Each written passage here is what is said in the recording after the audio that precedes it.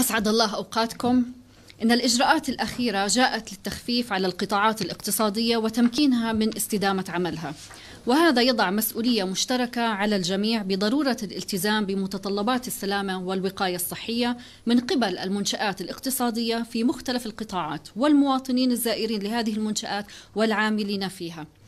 إن عدم الالتزام بإجراءات السلامة والوقاية الصحية سواء من قبل المنشآت أو المواطنين المتواجدين فيها يؤثر سلبا على المضي قدما في خطة فتح القطاعات التي تم الإعلان عنها ومن الممكن أن يؤدي ذلك إلى تأخير عودة هذه القطاعات للعمل.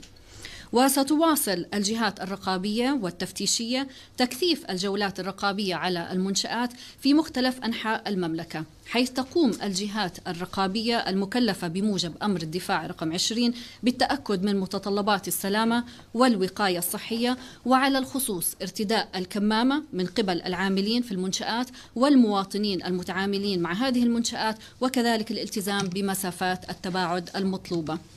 وهنا لابد من الإشادة بجهود وتعاون المنشآت والمواطنين الملتزمين بإجراءات السلامة والوقاية الصحية إلا أنه ما زال هناك مظاهر لعدم الالتزام لدى عدد من المنشآت والمواطنين الزائرين لها. ففي يوم أمس وهو أول يوم من وقف العمل بحظر الجمعة تم زيارة 1188 منشأة من قبل الجهات التفتيشية وتم رصد العديد من المخالفات.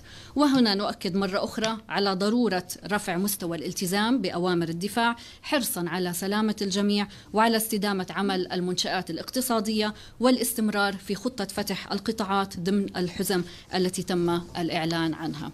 شكرا.